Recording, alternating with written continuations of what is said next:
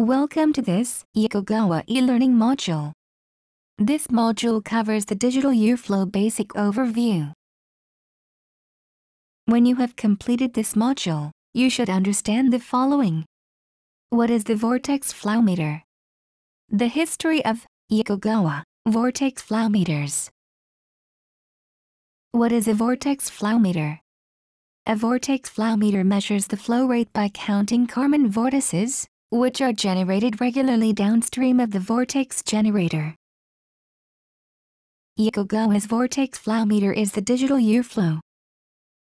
The vortex flow meter has many unique features such as simple and robust construction, no moving parts, and a wide flow rate range.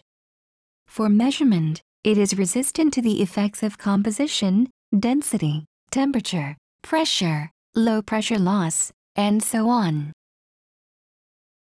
The digital YEWFLO is suitable for liquid, gas, and steam applications.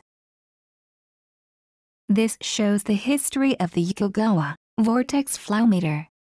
Yokogawa has a long history of vortex flow meters. Yokogawa developed the world's first vortex flow meter in 1969. We released the first YEWFLO in 1979, and in 1981, we improved the vibration resistance by using two piezoelectric elements. Then we added a microprocessor to the YEWFLO STELI.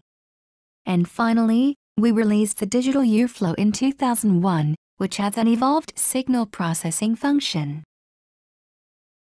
This concludes our module on the basic overview for digital YEWFLO vortex flow meters. For more information or to contact us, please visit our website and official channel on YouTube. Thank you.